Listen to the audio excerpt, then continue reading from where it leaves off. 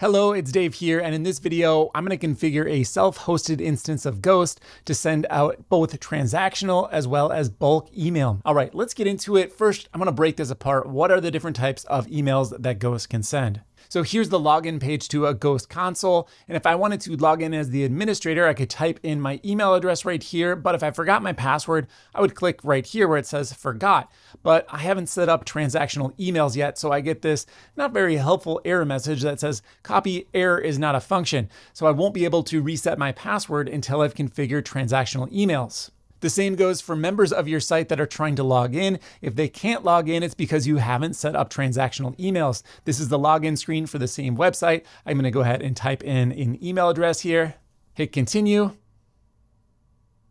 and it's just spinning and spinning. Nothing ever happens. Both of the emails that I just showed you are considered transactional emails, meaning that it's one email going out to one recipient. With Ghost, you can use any email provider. They give some popular examples here Amazon SES, Mailgun, SendGrid, and Gmail. And examples of these, we've already seen a couple, but other examples would be staff user invites, member newsletter signups, member account creation, and login links. But Ghost can also send a different type of email known as bulk email, where you have one email going to many recipients at once. The most obvious example here is sending email newsletters. Let me show you how that works in Ghost. So I'm in the post section over here inside of Ghost, and you'll notice that there's one post here called Coming Soon. This is the default post that comes up with every Ghost installation. If I click on it, you'll see that the post is not published. So I'm gonna click on this green publish button, and I've got some options. I can publish it, which will just put the post on my website like a normal blog post. But if I click here, I'll reveal some other options. I can actually send it out as an email only, and it won't even be on my website, or I can do both. I can have it be published on my website and sent out as an email. Now, these options are grayed out for me because I don't have mail configured and I also don't have any members on my website or subscribers to send them to. So our task for the rest of this video is going to be to configure both transactional emails as well as bulk emails. Now, I'm going to be using Mailgun throughout this video simply because it's the one service that works for both transactional as well as bulk emails. Right now, you need to use Mailgun to send out bulk emails on Ghost, so why not use it for transactional emails as well? You still need to configure both services, so if you want to swap out a different one, you're welcome to do that. Let's talk a little bit about Mailgun pricing first because that's a bit of a sore spot for some people.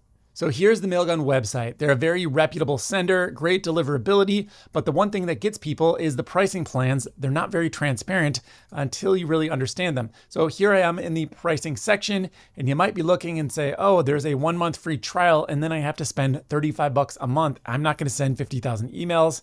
This is too expensive for me. And I've got good news. That's actually not the case. You can send the first 1,000 emails every single month absolutely for free. And after that, they have a pay as you Go program where they're going to charge you $1 for every additional 1,000 emails. So if you've got a list of just two or 3,000 people and you're only emailing them a few times a month, you're looking at four or five bucks for emails. So definitely reasonable, not as cheap as some other providers like Amazon SES, but definitely reasonable.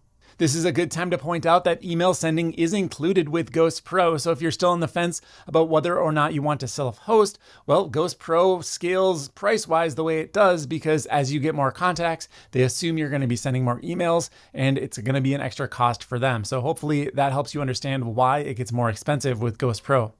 All right, enough talk. Let's go ahead and configure this thing. It won't take long now that you know what we're doing. So I'm logged into my Mailgun account. I'm under sending, then domains, and then I clicked on add a new domain. You'll see a screen that looks like this where you have to enter in your domain name. Now you might be tempted to just type your plain domain name here, but Mailgun likes to use a subdomain. So in my case, I'm gonna use m.daveswift.com. All right, I'm going to choose the region. I'm in the US, so that works well for me. I want to toggle on the advanced DKIM settings, and I'm going to go with a longer DKIM uh, passphrase here or uh, key and hit add domain. On the next screen, we're given the DNS settings. These are essentially long strings of text that we have to copy and paste from Mailgun over to our DNS provider.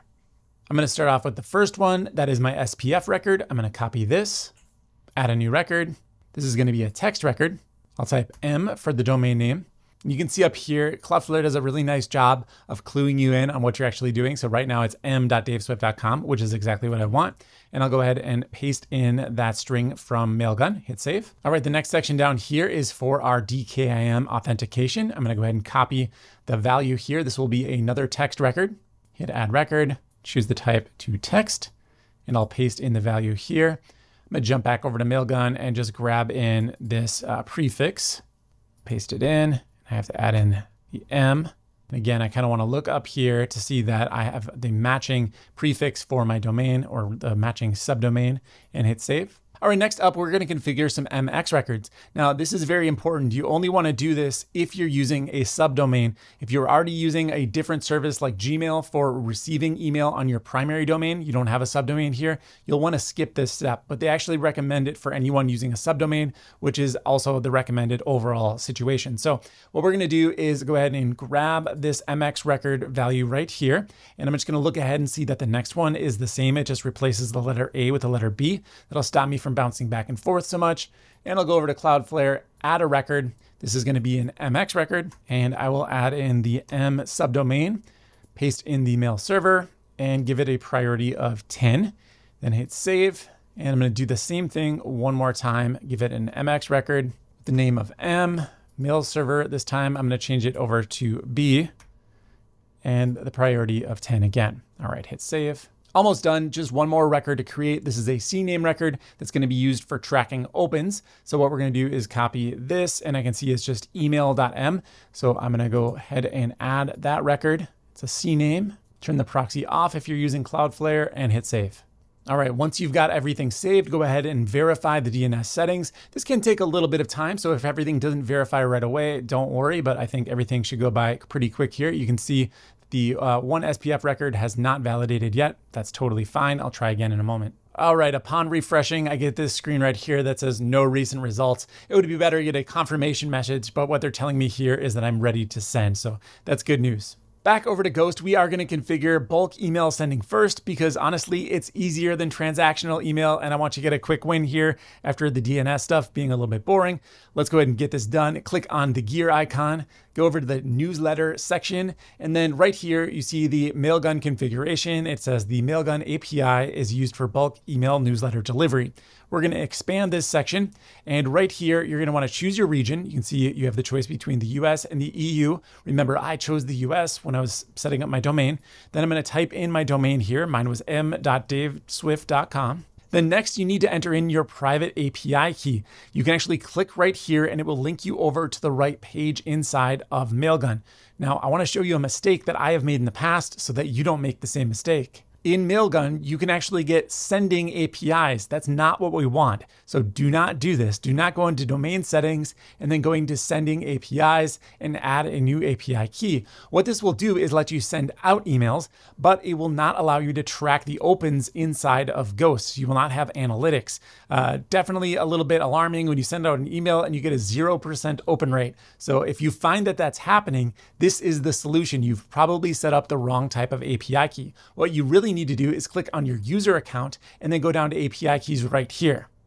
The API key that we want for Ghost is this one right here. Unfortunately, there's not an easy way to copy and paste it. You actually have to click the little I over here to reveal it, then copy and paste it in Ghost. So I'm gonna do that right now, but obviously I'm not gonna show it to you. All right, back over in Ghost, I just pasted in my API key. I'm gonna go ahead and hit save. And we're almost done with our bulk email settings, but there is one more thing we want to do. Jump back over to Mailgun and go over to domain settings here. And you're gonna wanna look for the tracking section. By default, this is set to be off. You're gonna wanna turn these all on. So you do click tracking, open tracking, and unsubscribes. Hit edit, turn it on. Hit edit, turn it on. All right, so now Mailgun is going to be tracking your opens and clicks, and it will report to Ghost via the API integration. All right, we are halfway home. Our bulk email is configured. Now we need to set up our transactional email. We're already in the right spot inside of Mailgun, inside of domain settings under sending. So once again, sending, domain settings, and then we're gonna click on SMTP credentials. Remember, transactional email goes out via SMTP, which is kind of a normal username and password scenario, versus the bulk emails, which went out over API and just used a single string as our API key. So a different configuration altogether here. We're gonna hit add new SMTP user. Give it a name here. I like to use something like no reply, keeping in mind that these emails are going to be password resets and things like that. So you're not necessarily going to be checking these emails. Then we'll create the credential. And over here in the right hand corner, we can click to copy the password. Now, the next step is to add the login credentials to a file on our server. Unfortunately, there's not easy access via the GUI like there was for bulk email. So I'm going to link to this document over on the Ghost documentation page, which is going to give us a bit of a template that we can follow here. So you can see this is what we need to just update with our username and password. So I just pulled open a text editor here, and first things first, I'm gonna paste that SMTP password that I just copied from Mailgun. Then I'm gonna go back over to the documentation here and grab all of the code right here, copy this, and then I'm gonna put it inside of my text editor. Grab this password one more time and replace the password that they provide to us, which is obviously not a real password. And then for the username, I'm just going to write my email address that I set up as my SMTP login, which was no reply at m.daveswift.com. So what I need to do now is copy all of this text, and then I need to go ahead and connect to my server via SSH. So let's open up our terminal just like we did in the installation video. And assuming the last thing you did was connect to your server in the installation, you can simply press the up arrow key and you'll see the command still there. But if you don't have that, you can log back into your DigitalOcean account, grab the IP address, and then you're simply gonna type in SSH root at, and then the IP address. Okay, so I'm logged in now, but remember, before I change anything on Ghost, I'm gonna have to switch users. And they've got the command here for me. That's really nice and convenient. I'm glad they did that. So I'm gonna copy this and paste it into the command line. That's gonna switch me over to that Ghost Manager user. And I can see before I was on root and now I'm on Ghost Manager. So next I'm going to navigate to where Ghost was installed, which in this case is going to be typing cd to change the directory, leave a space, and then I'm going to do a slash var www slash ghost. All right, now I'm in the ghost directory. I can type ls and it will show me all of the files and also confirm that I'm in the right spot. And what we need to do is edit this config.production.json file. And to do that, I'm going to type in nano space config.production.json. Hit return. And these are the settings for my Ghost configuration. You can see there's already a block down here for mail. I can get rid of this because I'm gonna replace it. I'm gonna press uh, Control K, that'll remove that line. I'll press it one more time, get rid of it again, and then add, get rid of that closing bracket as well. All right, I'm gonna do a line return here to open up a space, go back over to my text document, grab the code, paste it in, and then I should be able to exit out and save. To exit, I'm gonna press Control X, Y to save, and then hit return.